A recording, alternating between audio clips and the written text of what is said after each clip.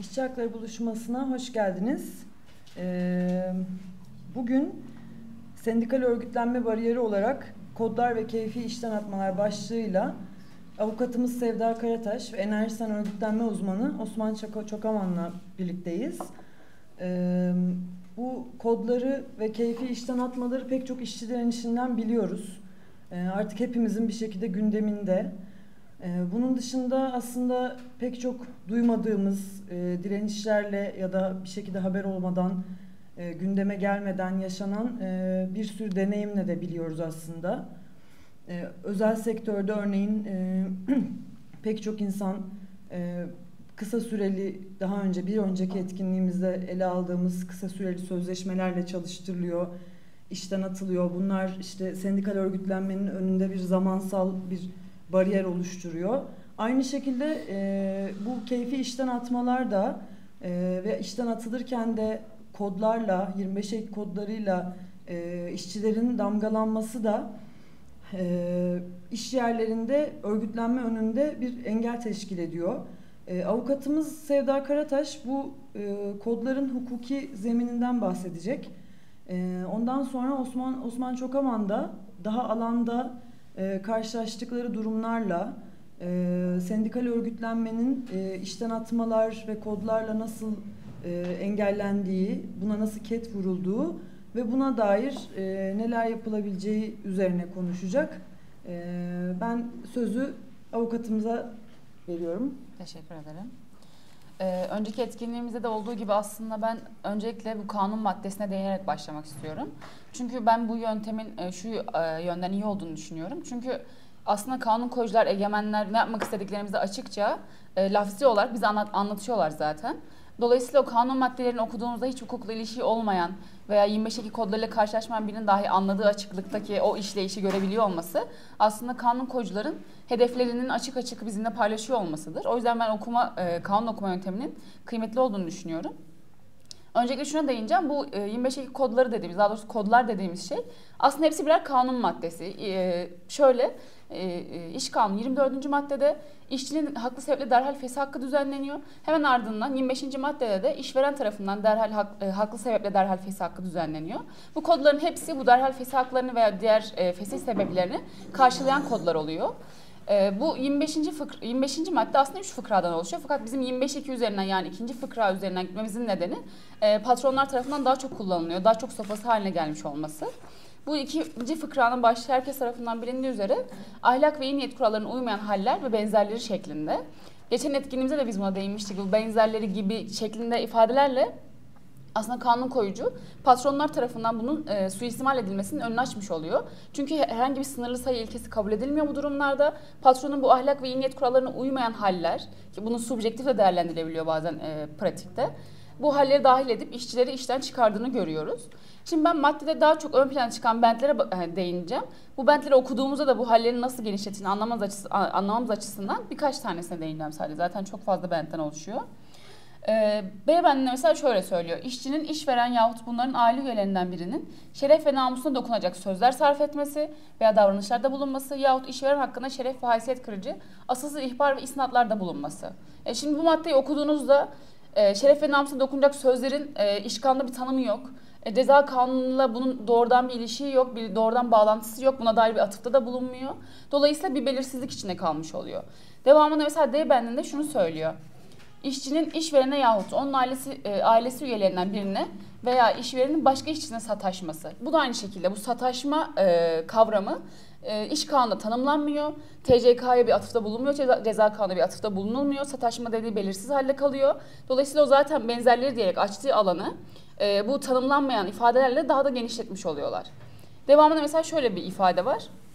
İşçinin işverenin güvenini kötüye kullanmak, hırsızlık yapmak, işverenin meslek sırlarını ortaya atmak gibi doğruluk ve bağla uymayan davranışlarda bulunması diyor. Dediğim gibi az önce bahsettiğim üzere benzerleri e, başlık zaten benzerleri şeklinde. Bir de bentlerde de zaten yine bir tanım yapıyor ve devamında gibi benzerleri diyerek bunları dahil edebilmenin önünü açmış oluyor.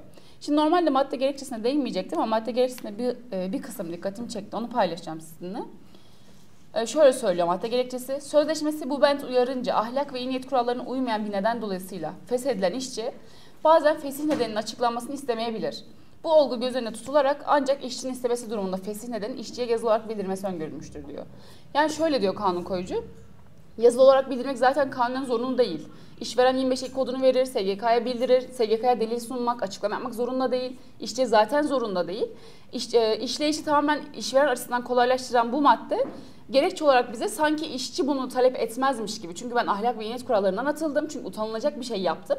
Ben bunu öğrenmek istemiyorum ma getirip tamamen işçi tarafından bir yerden bize servis ediliyor. Tamamen e, safsata yani bu başka hiçbir şey değil. Çünkü zaten işçi 25 giden işler çıkarıldığını varsayalım. İşçi patrona gidecek, e, SGK'ya gidecek, arabulucuya gidecek, mahkemeye gidecek. Bu yolların hepsini denerken o 25'e 2 kodunu zaten her neyse bu konuşulacak, tartışılacak zaten.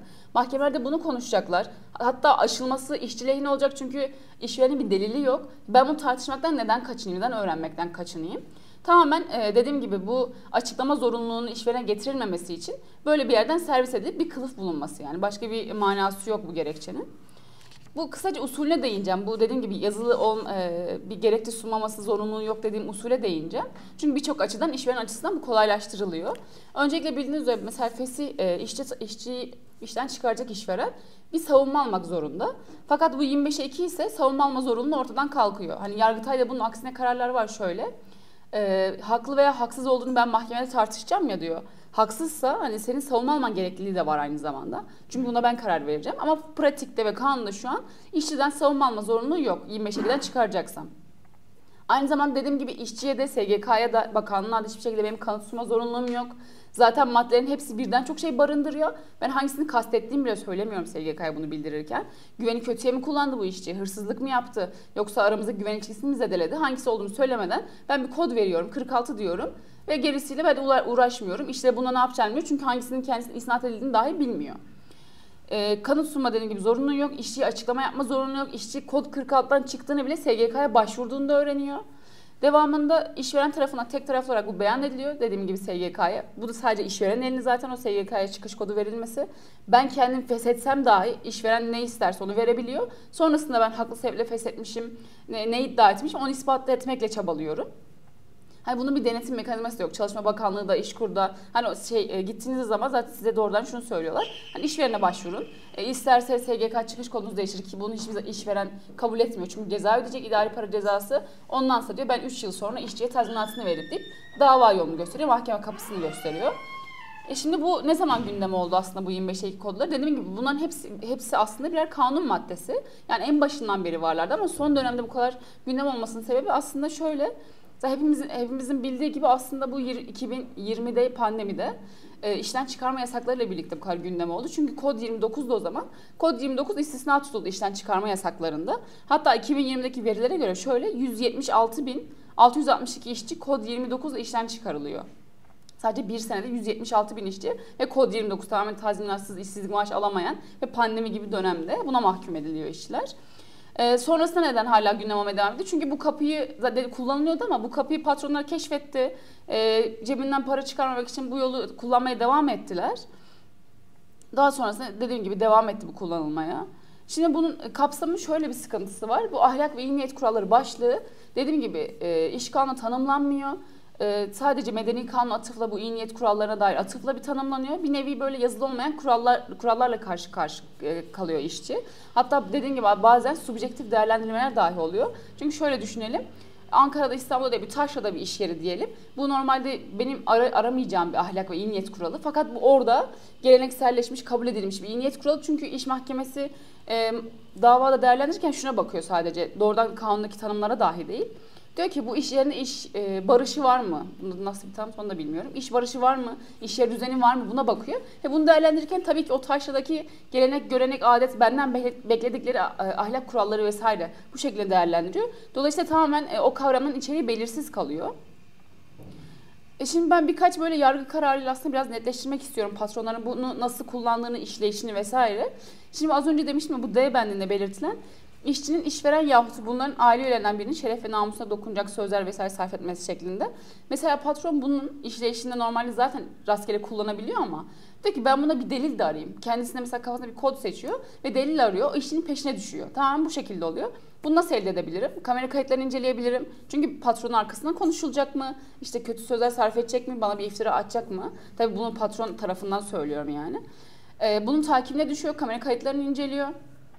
WhatsApp kayıtları, işte mail, e, şirket için mail yazışmaları bunları kontrol ediyor. Onları delil olarak kullanıp tabii kendi aleyhine bir şey bulup e, delil olarak kullanıp e, işçiyi işten çıkarıyor 25 koduyla. Hani Yargıtay'ın şu yönde kararları var. Eğer sen e, habersiz olarak denetleyebileceğini söylemediysen bunu delil olarak kullanamazsın diyor. Ama sözleşmelerinde tabii ki bu bir yere sıkıştırılıyor. Ya işçiler tarafından da o sözleşme özenle okunmadıysa zaten imzalanıyor. Özenle okunsa dahi imzalanacak zaten. E, sonrasında bunu kullanabiliyor delil olarak dediğim gibi.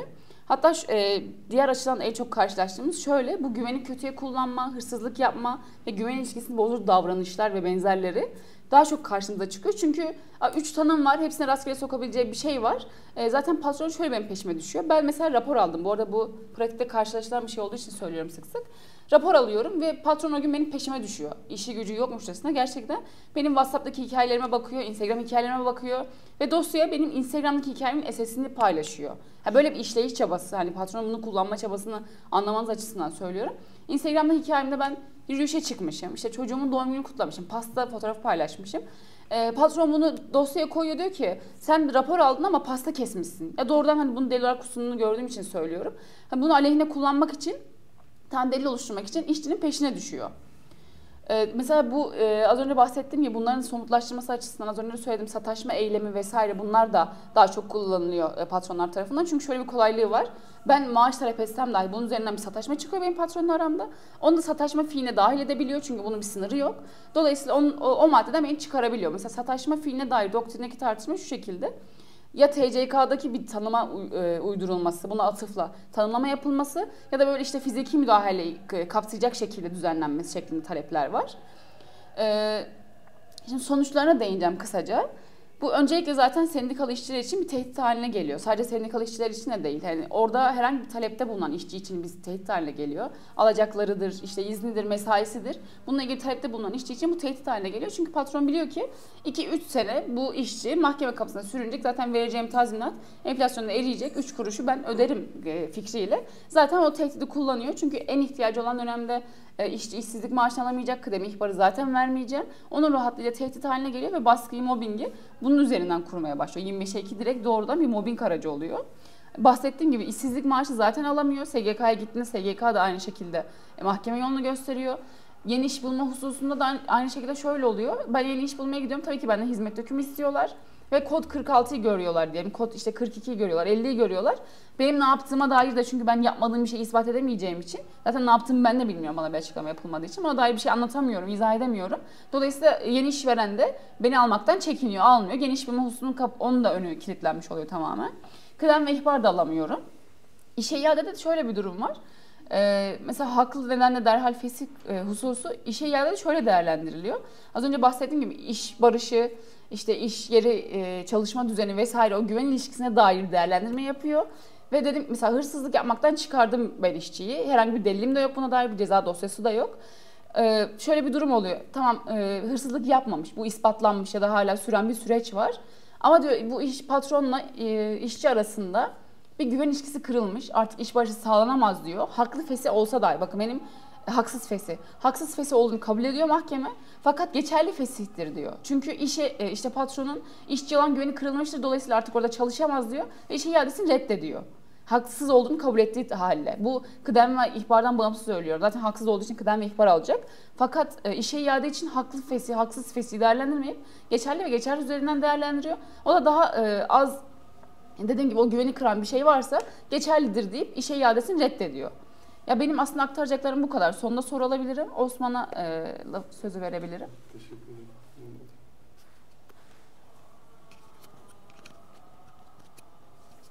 Ben bir arada Osman başlamadan şeyi soracağım. Bu e, en çok aslında yani şu ana kadar şahit olduğumuz direkt yani içinde bulunduğumuz ya da dışarıdan takip ettiğimiz direnişlerde en çok e, bunun etkisi şeyde görülüyor. Yani bir tür kamuoyu desteği oluşturma konusunda da mesela patronlar bunu çok iyi kullanıyor. Yani o dediğin mesela bir suçlama e, genel olarak insanların hani bir şekilde yargılarında bir şüphe yaratan bir suçlama varsa e, bu sefer herkes de bir iki kere düşünüyor hani bu destek olayım mı bu direnişi olmayayım mı acaba böyle bir şey mi Evet. savunmuş olurum diye. Ve bence bunu da çok iyi bildikleri için özellikle yani orada seçilen işte hırsızlık, taciz vesaire bütün o şeyler bir şüphe düşürmek genel olarak o işçinin hem işten atılırken hem de hakkını ararken üzerine şüphe düşürüyor. Ee, ama işte yani mesela hiçbir zaman iş yerindeki tacizleri gündeme getirmeye çalışsan da e, hiçbir zaman o mesela iş yerinde taciz meselesi bu kadar gerçekten gündem olmuyor gerçek olduğu zaman.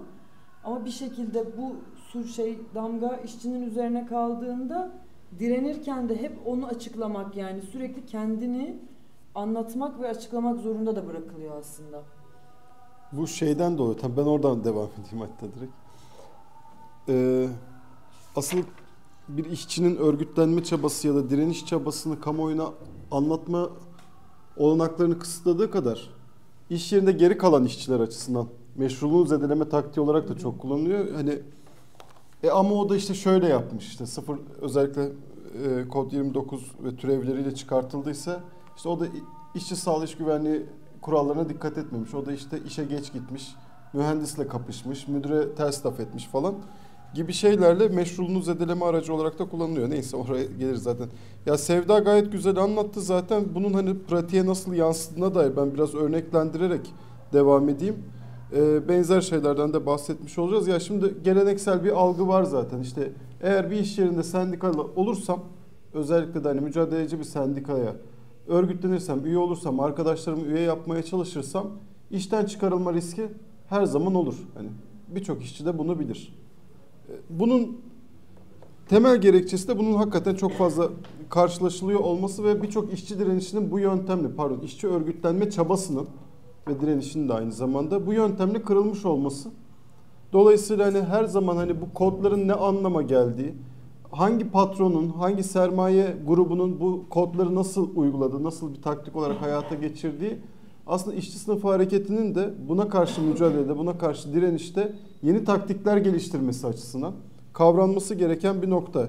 Çünkü mesela genel olarak evet pandemi sürecinde kod 29'la işte 25 Ekim'in doğrudan karşı işte iyi niyet ve ahlak kurallarının e, çiğnenmesi doğru sonucunda e, işten çıkarmalarla karşılaşılması üzerinden tartışıldı. Ama e, çok yakın zamanda işte kamuoyunda iyi kötü takip ettiği bir direniş sürecimiz olmuştu. Sendikamızın işte Sabancı'nın Sabancı'ya bağlı Başkent Elektrik e, şeyinde Başkent Elektrik dağıtım şirketinde. Oradaki arkadaşlar mesela şeyde değil e, kod 29'da değil 04 koduyla çıkartılmıştı. 04 kodu da o kodlara baktığında aslında en tırnak içerisinde masum kod. Yani işçiye kıdem tazminatında veriyor, ihbar tazminatında veriyor. İşte size uygun pozisyon bulunan yani aslında gerekçe göstermeden çıkarmış oluyor ve bunun sonucunda şey zaten garanti. Sen dava açtığında, işe iade davası açtığında kazanıyorsun. Hani bir problem yok. Ama zaten orada verilecek kıdemi, zaten orada verilecek tazminatın ederi Sabancı gibi bir patron için herhangi bir, bir şey olmadığından yani çok cüzi bir miktar onun için. Elinin kiri tabiri caizse. Ne olmuş oluyor? Çıkardığı işçinin niteliğine göre eğer orada örgütlenmeye öncülük eden bir işçi ise, eğer orada sendikal faaliyeti sürdüren, etrafına insanları toplayan herhangi bir sorunda ne yapılması gerektiği noktasında bir tür akil insan haline gelmişse ve sen onu çıkartıyorsan zaten geride büyük bir korku ya bu işlere bulaşan işten çıkartılır. Bu işlere bulaşanın sonu işte e, çalışmaya devam edememek olur. E bu kış gününde örnek veriyorum kış kış günlerinde oluyorsa ya da işte bu yoksulluk günlerinde bu hayat pahalılığıyla bizi hani yaşamanın zorlaştığı koşullarda gerçekleşiyorsa 3 e, kuruş maaş alıyoruz ondan da olmayalım. Tamam karşılığında dava açıyoruz kazanıyoruz da ama 2 yıl sürüyor, 1 yıl sürüyor, 1,5 yıl sürüyor. E dolayısıyla hani onu kazanana kadar zaten Sevdan da söylediği gibi alacağı işte işe iade tazminatı yani işe başlatmama tazminatı örnek veriyorum. E, zaten kuşa dönmüş olacak. Yani bir anlamı olmayacak onun için. Ara buluculuk devreye giriyor. Ara buluculuk da devreye girince de eğer anlaşma sağlarsan işveren tarafının patronun önerdiği miktar sana makul gelirse, işçiye makul gelirse kabul ediyorsun. O günkü ihtiyacını da karşılıyor bu. Belki o gün işte kredi ödemen var, banka ödemen var, bir şeyin var. Borcun var onu ödemen lazım. Ama bu sefer geriye kalan işçiler açısından şöyle bir algıya sebep oluyorsun. E, o da gitti ara bulucuda anlaştı. Bir tür güven kaybı e, haline geliyor. Dolayısıyla hani bu işten çıkarma kodlarının karşısında yürütülecek mücadelenin kendisiyle aslında bu tür hani e, işçi örgütlenmesinin önüne geçme olanakları kısıtlanabilir. Tabi bunlar şöyle bir şey yani biz kamuoyundan takip ediyoruz yani veyahut da bir fil içinde bulunduğumuz direnişlerde eğer orada bir mücadeleci sendika varsa orada her, eğer öncü işçiler arasında e, farklı bir bilinç düzeyi varsa buna karşı mücadelenin olanakları da daha kuvvetli oluyor. Ama maalesef memlekette şöyle bir şey yaşanmıyor. Özellikle yani geçim derdinin arttığı günlerde, içinden geçtiğimiz günlerde doğal olarak, refleksif olarak sendikal örgütlenme bir çare olarak işçiler arasında yaygınlaşıyor. Yani ilk akla gelen işte ya mevcutta bir sendika varsa da özellikle hani şey işveren yanlısı sarı sendika falansa da ondan istifa etmektir. Herhangi bir sendika yoksa da işte hangi sendikaya ulaşabilirimdir falan. Ama bu eğer kendiliğinden bir çaba olarak kal- kalıyorsa karşısında ka- karşısında patronun attığı adım sonucunda da akamete uğruyorsa, eğer kesiliyorsa o çaba bir sonrası için, bir sonrası için adım atma noktasında işçi daha cesaretsiz hale geliyor. Çünkü biliyordur hani bu işlerle uğraşan herkes bir yere gittiğinizde bir örgütlenme çabası varsa 10 sene önceki hikaye anlatılır. Ya 10 sene önce de burada çok büyük eylem olmuş işte işçiler şöyle yapmış böyle yapmış. E Ahmet abi işten atmışlar bir daha da kimse o işlere kalkışmamış falan gibi şeylerle karşılaşılabiliyor. Dolayısıyla hani hepsinin ne derler yani iyi bir e, mücadeleci dediğim gibi mücadeleci sendikal örgütlenmeyle buluşmadığı noktada bu tarz sonuçlar oluyor.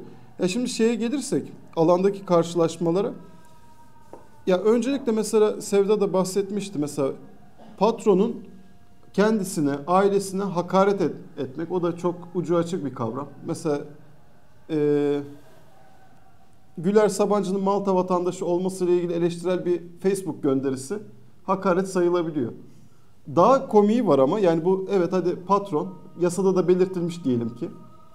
Mesela mevcut sendikaya eleştiri de işten çıkarma şeyi haline gelebiliyor. Sebebi haline gelebiliyor. Ya da en azından mesela Sevda da bahsetmişti. Facebook'tan takip ediyorlar işte e, Instagram'dan takip ediyorlar. Yani işçi sürekli bir gözetim altında. Yani iş yerinde geçirdiği süre haricinde de. Sonuçta mesela örnek veriyorum bizim iş kolunda araçlarla iş yapılır. Yani gündüz mobil haldedir işçi. Araçla oradan oraya gider. Araçlarda takip cihazı vardır, dinleme cihazı vardır yer yer. Takip cihazı hepsinde vardır, yer yer dinleme cihazı vardır. Ee, orada işte nerede durduğun, nerede mola verdiğin, nerede devam ettiğin, öğlen arasını nerede geçirdiğin falan hepsi takip altındadır. Ama iş saati dışında da işte sosyal medya gönderileri falan takip aldım. Bu sadece işten çıkarma gerekçesi haline gelmiyor. Aynı zamanda şeyin de haline geliyor. Eğer sen bir e, adaletsizlikle alakalı bir Facebook gönderisi paylaştıysan veya da bir tane sendikanın bir tane gönderisini beğendiysen takip altına alınman için çok basit bir bahane oluyor ve o bir tür şeye hafızaya atılıyor. Harekete geçme anında da hani dosyadan çekip işçinin önüne getirilen bir şey ve bu çoğu zaman yasal yani nasıl derler mesela toplu sözleşmenin olduğu yerlerde yürütülmesi gereken işte disiplin süreçleri falan da bile değil. Bir tehdit unsuru olarak bak senin böyle bir kağıdın var. Senin böyle bir kaydın var. Aslında bu yasal bir şey de değil. Ama bunu da biraz hani yasaya dayandırarak işte kanunun şu maddesine göre seni işten çıkartabiliriz ama biz çıkartmıyoruz bak bundan vazgeç falan gibi şeylerle tehdit unsuru olarak kullanılabiliyor. Yani dolayısıyla şeyler bu işten çıkarma kodlarının hepsi işçinin üzerinde sürekli bir baskı ve tehdit unsuru. Sendikal örgütlenmeyi kırmak için taktik patron açısından ve işçiler arasında güvensizlik yaratmak, işçiler arasında birliğin sağlanabilme koşullarını zayıflatmak veyahut da direnme potansiyeli olan işçiyle iş yerindeki sorunları izleyen ama henüz harekete geçme noktasında tereddütleri olan işçi arasında, o katmanlar arasında kurulabilecek köprülerin zayıflamasına neden olmak için çok kolay kullanılabiliyor. Ya buna karşı nasıl mücadele edilebilir? Ya sonuç itibariyle şöyle bir şey var.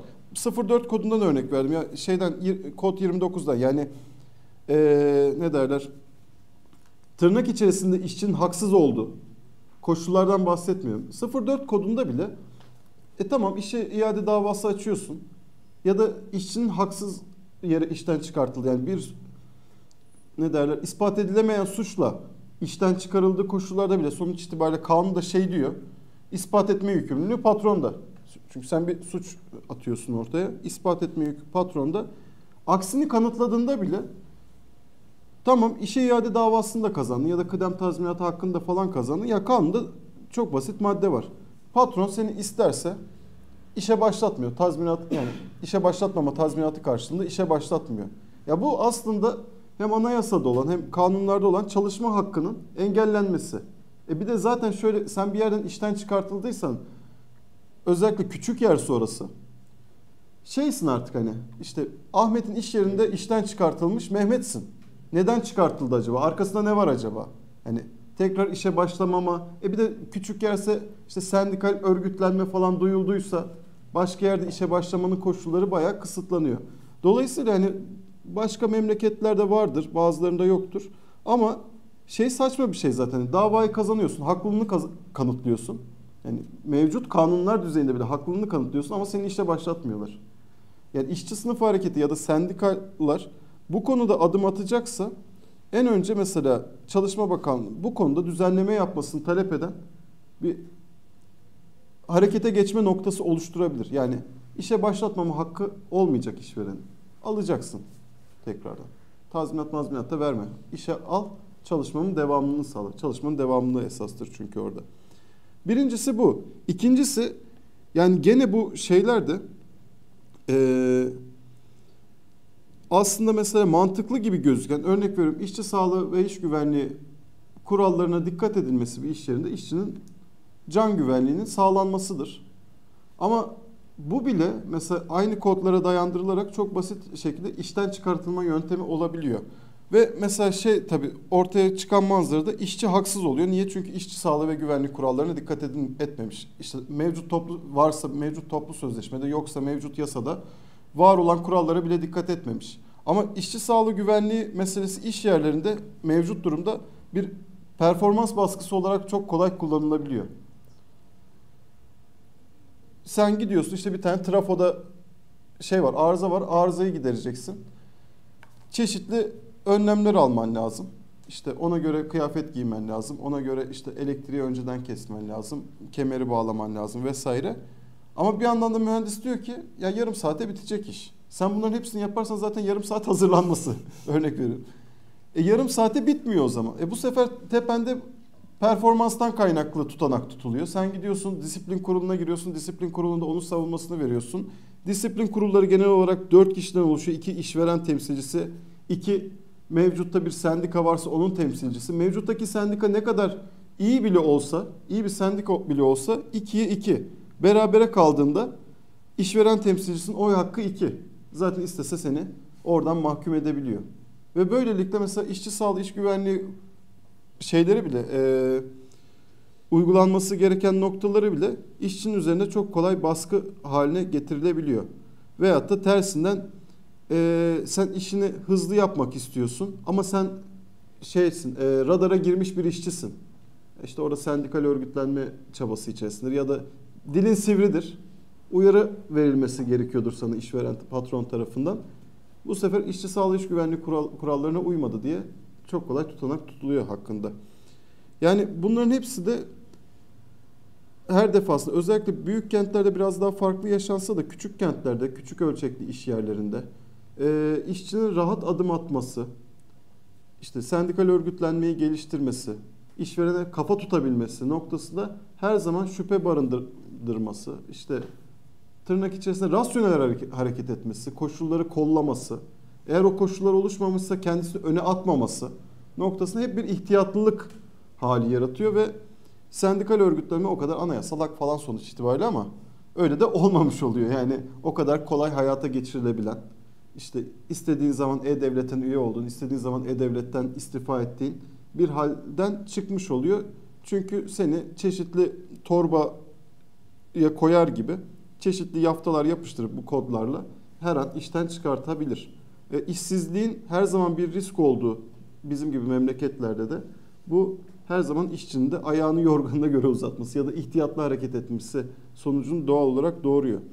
Dediğim gibi yani bu bir şeyse e, işçi üzerinde sendikal örgütlenmeyi engelleyen, sendikal örgütlenmenin daha yavaş ilerlemesine sebep olan bir şeyse memlekette sendikaların özellikle mücadeleci sendikaların ya bu konuyu bir tür güvence meselesi, güvence mücadelesi haline getirmesi gerekir. Çünkü güvencesizlik nedir? Yani güvence, yasal güvence diye bir şeydir. Örnek veriyorum başka güvence biçimleriyle birlikte. Eğer yasada varsa, yani bizim memlekette yasada olan, var olan hak bile, yani işçi lehine hak bile mücadele etmeden uygulanmıyor. O ayrı bir konu ama yani mevcut yasada şey bile yok yani. Ee, ne derler? Senin üstüne atılmış suçu kanıtlama zorunluluğun yok. Bu karşılıklı işte SGK'nın araya girip ne derler? Ee, işçi lehine karar vermesi zorunluluğu yok. Ya da dediğim gibi işe iade davasını kazandığında işe iade zorunluluğu yok. Yani bu güvenceden ma- şeysin, mahrumsun. Dolayısıyla bunu bir güvence mücadelesi haline getirtmek gerekiyor. Doğal olarak yasal düzenleme talep etmek ama yasal düzenlemenin yetmedi ve o yasal düzenlemenin uygulanması noktasında sürekli takipçisi olunan bir mücadele biçiminin gelişmesi gerekiyor. Bir ikincisi de sadece işten çıkarmayla alakalı değil. Sonuçta bu kodlar özellikle 25'e 2'nin içeriği işçi üzerinde sürekli bir tehdit unsuruysa işte tutanak tutulabiliyorsa bu gerekçeler gösterilip işçiye bir takım haklar tanıyor değil mi? Mesela sizin üstünüze var olmayan bir suç atıldıysa ve siz bunun aksini ispat ettiyseniz ne diyor devlet sana? O zaman haklı fesih yapabilirsin. İyi tamam haklıysan da işten çık. Yani saçma bir durum. Mesela SGK diye bir kurum var. SGK şunu yapamıyor. Mevcut iş kanunu bile 4857'nin uygulanması noktasında bile işçi lehine gideyim iş yerinde denetleme yapayım. Yani yapıyor müfettiş gönderiyor falan en fazla rapor ya da tutanak tutuyor geçiyor. Onu düzeltecek yani çok basit bir şey mesela 4857'nin 22. maddesi esaslı iş tanımı. Değil mi? Yani siz örnek veriyorum burada çay getiriyorsanız temizlik yapamazsınız. O senin görev tanımına girmez. Ama yapılıyor mu? Yapılıyor. E sen SGK'ya başvurduğunda, şikayet ettiğinde gelip orada senin çalışma koşullarının düzenlenmesini gerektiren bir kamu kurumu, bir güvence noktası halinde işlemesi gerekiyor ama mevcutta öyle işlemiyor. Dolayısıyla işçi hareketin, işçi sınıfının güvencesizliğe karşı yürüttüğü mücadele tek başına işte eskiden şey gibi algılanır. Taşerona karşı mücadele. Taşeron çalışmaya karşı kadro mücadelesi örnek veriyorum. Ya da işte sendikalı olma hakkının tesis edilmesi. Davayla tesis edilmesi, mücadeleyle tesis edilmesi falan.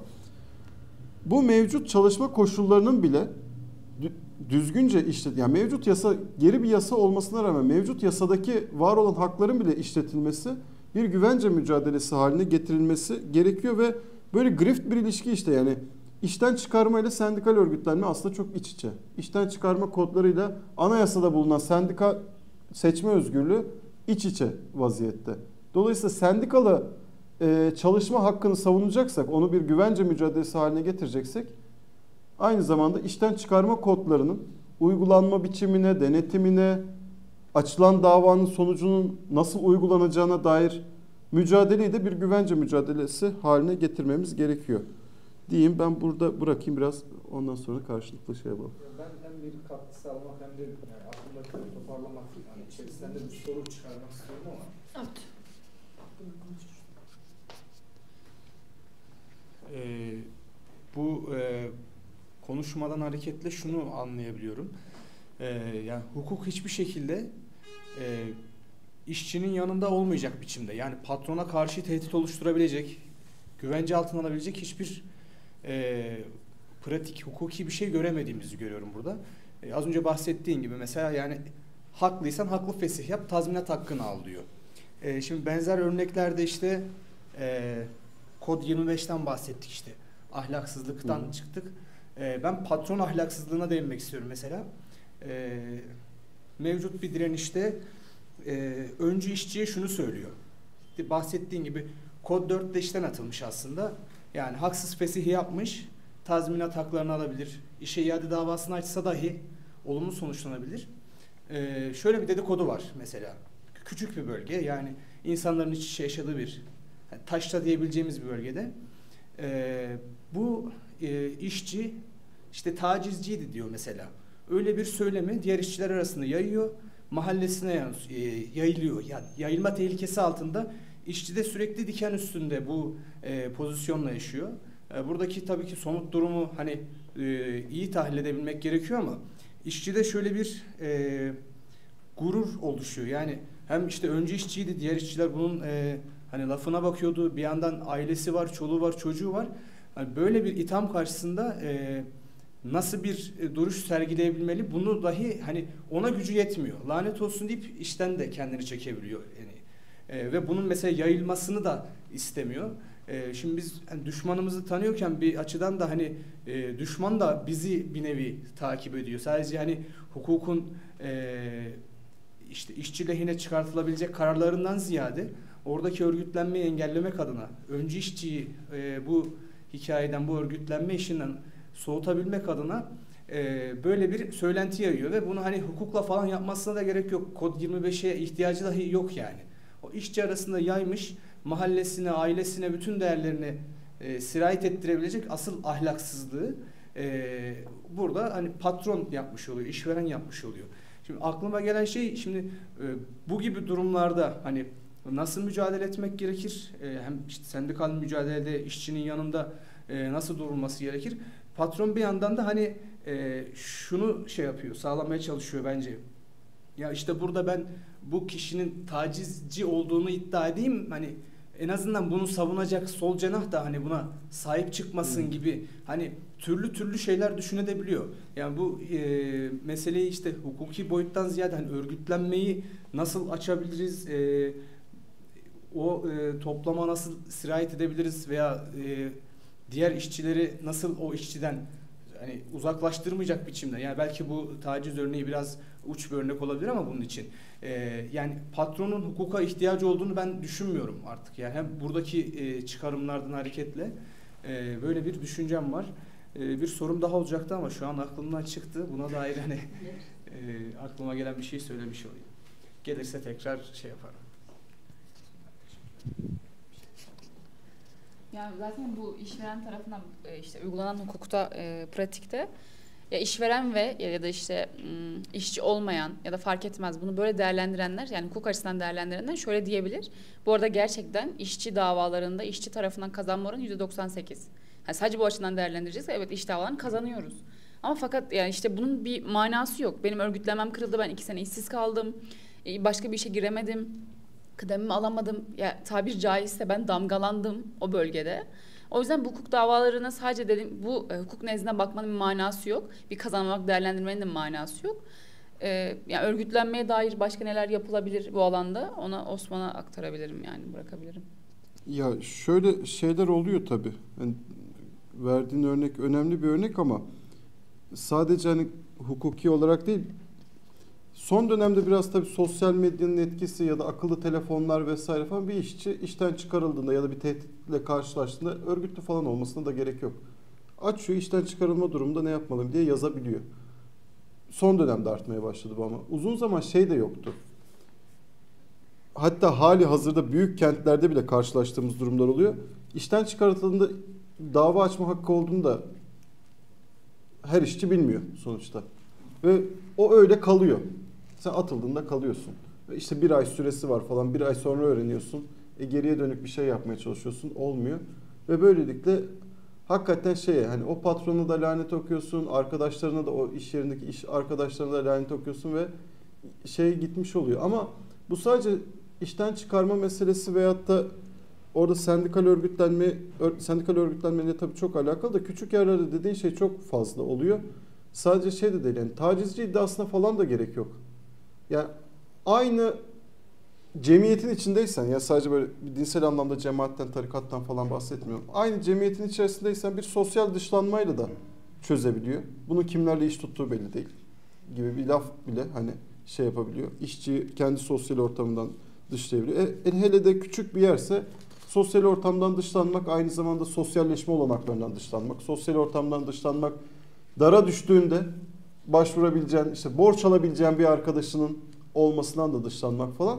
Ve bu bir tür şey gibi e, çok doğal ve geleneksel bir ilişki biçimi gibi algılanıyor ama ya ben bunun bu kadar masum olmadığını düşünüyorum. Yani bu kadar doğal ve geleneksel olmadığını düşünüyorum. Bu bildiğimiz insan kaynakları yönetim modeli. Yani şeyde yaşamıştık, Kangal'da yaşamıştık termik santral direnişi sürecinde. Yani orada üç tane siyasi partinin şeyi, e, ilçe yöneticileri, mevcut Sarı Sendika'nın şube başkanı. Hepsi direnişi çözemedikleri noktada akrabalık ilişkilerini, dinsel ilişkileri, Kürtlüğü, Türklüğü, Aleviliği, Sünniliği devreye sokarak bunu da ince yöntemlerle devreye sokarak yani doğrudan işte Alevi düşmanlığı yaparak, doğrudan Kürt düşmanlığı yaparak falan değil ama ince biçimlerde devreye sokarak ya da mevcut işte disk enerjisinin örgütlenme çabasının işte disk falan yani solculuk, molculuk üzerinden kara propaganda yaparak işçiyle bir tür o sosyal dışlanma tehdidini diri tutarak direnişi zayıflatmayı denemişlerdi. Bu da şöyle olmuyor tabii. Yani bu düşmanlaştırmalar da hemen karşılık bulmuyor. Aslında şey de biliyor. E, işçi de biliyor kimin yanında olduğunu. Yani kim onun yanında duruyor. Sonuçta Alevi, Sünni fark etmez. İşçi yan yana kol kola girmiş orada mücadele yürütüyor. Ama sonrası açısından yani bugün çözeriz ama sonra ne olur? İşte kayın kayınpeder mi kızar? İşte ne bileyim belediyeye gittiğimde işte işimi mi çözemem falan filan gibi bir sürü risk e, işçinin karşısında duruyor. Ya bunun tek başına yani hukuki ya da sendikal bir örgütlenmeyle çözülebileceğini düşünmüyorum. Bu sendikal örgütlenme ya da oradaki mevcut işçi örgütlenmesinin derinleşmesiyle alakalı. Kendi iç dayanışma ilişkilerini kurabilmesiyle alakalı. Yani alternatifini yaratmasıyla alakalı. Yani birbirine bir tanesi işsiz kaldığında iş bulmak bile hani kendi sosyal olanaklarıyla şey ve ön yargılarının kırılması. Ee, mesela şey belki o noktada kadın hareketinden hani fe, şeyde ilham da alınabilir. Yani işçinin beyanı esastır diye bir şeyin olgunlaşması lazım patron karşısında. Yani şey değil. Yanlış anlaşılmasın. Patron karşısında en azından. Ya patron bir laf atıyorsa önce arkadaşıma sorayım, mesai arkadaşıma sorayım. Ben bunu direkt tepesine çıkıyorum, arıza gideriyorum. Ölüm riskiyle karşı karşıya çalışıyorum. Patron buraya bile gelmiyor. Rahat çalışıyor. Patron dediğine mi inanacağım? Birlikte ölüm riski altında çalıştığım arkadaşıma mı inanacağım? Bu algının yaygınlaştırılması gerekiyor. Bu biraz şeyle alakalı hani sendikal sürecin ya da sendikayı aşan bir işçi örgütlenmesi modelinin derinleşmesiyle onun oradaki öncü işçilerin bu noktada daha fazla çaba göstermesi ya da sendikal örgütçülerin daha fazla çaba göstermesiyle aşılabilir. Bu biraz toplumun kültürel kodlarında alt üst edilmesiyle alakalı bir şey. Ben bir şey Şimdi mesela kod 46 hır... Kod 46 hırsızlıktı. Hı hı. Değil mi? O kodtu herhalde. Acaba kod 46 ile işten çıkarılan işçiler için işveren hiç mahkemeye başvuruyor mu? Mesela böyle bir istatistikler ya da karşılaştırma var mı? Çünkü bence eğer hırsızlıkla suçlanan bir işçiyi işveren mahkemeye adli süreç başlatmıyorsa zaten bu kararın yani bu maddenin fasonluğunu gösteren en önemli gösterge bu olabilir. Örnek var bir tane şey. Bir iş yerinde şey olmuştu. Şimdi bizim ikisi enerji elektrik sektörü olduğu için atık kabloların içerisinde bakır teller olur ya. Onlar para eder. Şimdi onlar işçi atık ama yani çöpe gidecek kablo zaten. İşçiler de onları ayıklayıp satıyorlar ve ya zaten 3 kuruşa çalışıyor. Ek gelir yani olsun diye böyle bir yöntem. Ya bu ahlakidir değildir tartışmıyorum ama bu ortaya çıkınca işten atma gerçekleşti patron tarafından. İşten attılar ama mesela hırsızlık suçlamasıyla herhangi başka bir dava açılmadı işçilere. Sadece işten attılar. Yani o da şeyi biliyor. Yani atık yani çöpe gidecek zaten. Hani değeri de yok. Patron için de değeri yok. Ama işçi yapmasın bunu. Yani farklı bir yoldan para kazanmasın, bilmem ne yapmasın, gelir düzeyini arttırmasın, bilmem ne. Benim bana tabi çalışacak sadece. Orada hatta şeyle çıkartılmışlardı. Araçlardaki takip sistemi bir tane e, o şeylerin bakır tellerin satıldığı bir yer önünde çok sık durup kalkmaya başlayınca o takip sistemi üzerine çıkartılmıştı. E, tabii o dava mesela kazanma şey yapılamadı. İşçiler dava açtılar kazanamadılar o davayı. O da şundan kaynaklanıyor büyük ihtimal öyle olmuştur. Bu dediğim gibi ben de işte şikayet, işte ceza dava sürecinin olduğu e, davalar da oluyor hukuki sürece paralel olarak. Veya şikayet etmedi çünkü bunu ispat etmekle uğraşmak istemediği bir dava da oluyor. Fakat az önce bahsettiğim üzere bu işe iadede özellikle haklı fesihten e, ziyade geçerli fesih, geçersiz fesih üzerine değerlendirdiği için ceza davası olsa dahi onun kesinleşmesini beklemiyor. Çünkü diyor ki güven ilişkisi kırılmış, e, iş, işten çıkarabilir. Böyle bir beklentisi varmış, karşılamamış veya işte vesaire güvenimi kırdı diye geçerli fesihtir deyip işe iadesini reddedebiliyor. Büyük ihtimal bahsettiği olayda da öyle bir şey gerçekleşmiştir. Peki şey çalışmıyor hukukta? Hani içler için var da hayatın olağan akışına Hı. bir ifade var. Hayatın olağan akışını bozmayacağı şekilde. Örneğin bu mesela fazla mesaide oluyor. Diyelim ki işten çıkışın 5 ama e, mesain 7'de başlıyor. Aradaki 2 saatte fazla mesai içerisine giriyor. Çünkü Yargıtay'da bildiğim, temsal, emsal bir karar var. Hayatın olağan akışını bozuyor çünkü o. O yüzden de işçi lehine bir yorumlamaya neden oluyor. Mesela bu konuda da bu kodlar aslında bu tarz bahsettiğin şekilde. Hayatın olağan akışına yani işçide mesela niye çalışmıyor mekanizma? Aslında çalışıyor yani hukuki e, değerlendirmede bu hayatın olağan akışını değerlendiriyorlar. Bu kodlarda da değerlendiriliyor. Lehine olsun olmasın işte bu işe iadede fesih e, niteliğinden niteliğine dair bir değerlendirme oluyor. Kıdem ve ihbarda da haklılığa dair oluyor.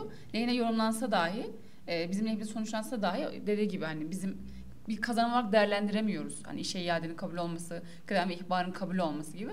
Hatta şu Osman dediğin üzerinden şunu söyleyebilirim. Şimdi mesela işe iadede e, iş, işverenin şöyle bir seçeneği var. Başlatmamak e, ve tazminatını ödemek. E, Ya bunun kaldırılması ya da en başına davanın beni iki sene o sürüncemede bırakmak yerine davanın başında bunu bir yöntem olarak kullanılması yani biraz o zaman tazminatı en başta verebileceğini söyle ben bu sürece hiç dahil olmayayım ya da işte işe iade olacağını söyle bunun üzerinden dava yürüsün. Fakat işverene böyle bir seçenek sunulurken e, işçiye böyle bir seçenek sunulmuyor. Hatta işçi hak düşürücü sürelerle karşı karşıya kalıyor. İşe iade kazandığı zaman işte bir ay içerisinde işverene başvurmazsa artık işe iade olamıyor.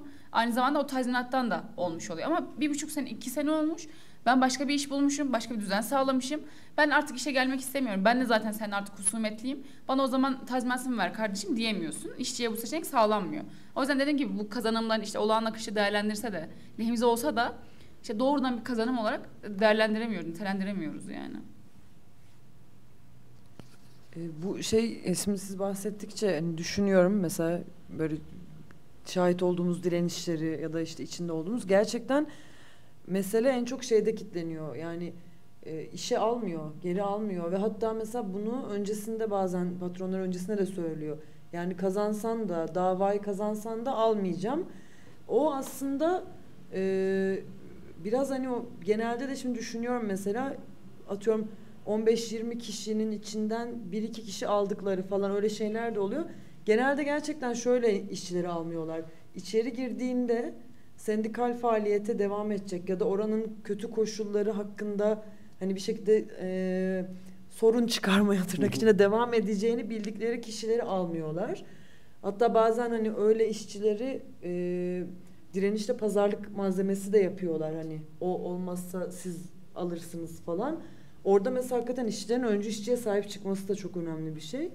Bir de şey diyeceğim yani mesela Abdü'nün söylediği şey üzerinden yani benim de başta benim biraz söylediğim şey yani ya belki hakikaten bu örgütlenme üzerine düşünürken e, bu tip yani bizim işte toplumun yargılarına bir şekilde dokunan hani hassas noktalarına dokunan konularla ilgili nasıl bir yaklaşım olacağını e, nasıl bir strateji olacağını da düşünmek lazım. Çünkü hakikaten oralar boşlukta kalıyor.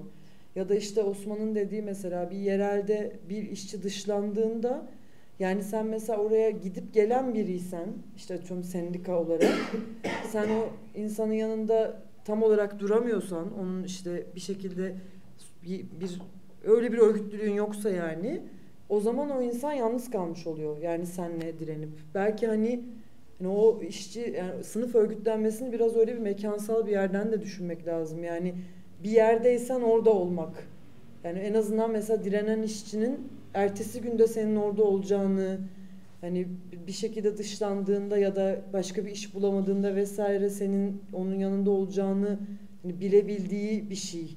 Ya çünkü mesela başka konularda da yani e, mesela çok solcu olmayan e, çevrelerden işte solculaşan insanların mesela hayatının böyle bir yalnız ve yalpalayan bir dönemi vardır hep. Yani mesela oralarda hani o insanları böyle kuşatacak, e, tutacak belki örgütlenmeler hani aynı şekilde sınıf mücadelesinde de önemli olabilir. Çünkü sonuçta sosyal hayat önemli bir şey. Yani ben bu kodların hani oralara çok işlediğini düşünüyorum, çok oynadığını. Ki bence hani Osman'ın bu mesela daha küçük yerler vurgusu çok önemli. Çünkü İstanbul'da falan izini kaybettirmek bir kolay da mesela Ankara'da bile zordur o yani eminim hani hakikaten ki daha küçük yerlerde imkansız. Ya bir şey ekstra örnek vereyim. Olumlu örnek. FEDAŞ direnişi yakın zamanda Hı hı. kazanımla da sonuçlandı. Orada mesela şeyi denediler. İşten çıkartılan işçilerin bir kısmını pazar yani bunları almayalım. Ahmet'i Mehmet'i almayalım. Geri kalanını tamam hani alırız falan. Orada yani biraz tabii Dersim olmasından kaynaklı. Hani oranın kendi iç kültürü, işçilerin iç kültürü falan. O birlik bozulmadı ve direniş kazanımla sonuçlandı ama tek başına işçilerin iç birliği de değil. Kentin komple direnişin arkasında durması. Ki orada da mesela konumuz tabii işten çıkarma kodları ama genişliyor. Orada da şöyle şeyler yaptı işveren. Kendi imkanları dahilinde. İşte yerel gazetelere ilan vermek, işte halktan insanları kışkırtmaya çalışmak. Çünkü elektrik yoksa hayatın birçok şeyi de akışı da engelleniyor özellikle ev içinde gündelik hayat içerisinde. İşte ilan verip de aslında işçilerin işçilere hak verildiğini ama onların kabul etmediğini vesaire falan gibi çarpıtarak direnişi itibarsızlaştırmaya çalıştı ama kent arkasında durdu. İşçiler mahalle mahalle köy köy gezerek direnişlerinin neden gerçekleştiğini anlatan bildiriler dağıttılar, kahve konuşmaları yaptılar falan ve kent arkasında durunca da bu sorun çok kolay aşıldı. Ama o tabi Dersim olduğu için biraz da hani istisnai bir durum. Tek başına Dersim olmasıyla alakalı değil. Yani orada sendikanın da yani Enersen'in de 10 sene önce yürüttüğü bir direnişin hafızasının hem işçi arasında hem geri kalanlar arasında diri olması e, o, o gibi avantajlar var. Ama bu maalesef memleketin her tarafına her, her an sirayet edebilecek bir şey değil. Belki orada şöyle şeyler üzerine düşünmek gerekir. Yani bir grevi, bir direnişi, bir örgütlenme çabasını özellikle işin niteliğinin daha toplumsal olduğu iş kollarında. İşte enerji öyle bir iş kolu sonuçta hani tek başına işçinin bir şey üretti yani bardağı üretip kenara çekildiği bir şey değil. Kentin gündelik hayatın akışının yeniden üretiminin sağlanması da kritik noktada. Bu tarz örgütlenmelerde tek başına işçinin sendikal örgütlülüğü, tek başına işte bir direnişin haklı talepleri değil, geri kalanının da yani kentin de on, on, ondan taraf olması, bir toplumsal grev biçiminde örgütlenmesi olanaklarını arttırmak gerekiyor. Ya bu da tabii şeyle tek başına hani sendikal mücadeleyle ya da sendikal örgütlenmeyle yetinilerek yapılabilecek bir şey değil. Daha birleşik formların üretilmesi, farklı sektörel örgütlenmeler arasında daha hani ilişkisel ağlar kurulması o sayede mümkün oluyor. Bizim mesela şöyle bir olanağımız oluyordu. Aslında senin verdiğin örneğe de benziyor. Ya şimdi enerji iş kolundaki arkadaşlarımız işte örnek veriyorum hastanede bir işi oluyor. İşte Dev Sağlık İş Sendikası'na üye sağlık işçileri aracılığıyla en azından hani bilgi alma noktasında bile olsa hani torpil morpil dönmüyor ama ya o hastaneye gelsem şunu bulabilir miyim? Böyle bir hoca bulabilir miyim? İşte boğazım ağrıyor onunla ilgili bir şey var mıdır falan gibi. Bir süre sonra mesela bir bizim sendikanın örgütlenme olarak örgütlenme uzmanı olarak bizim de aradan çekildiğimiz ve daha doğrudan ilişkilerin kurulduğu.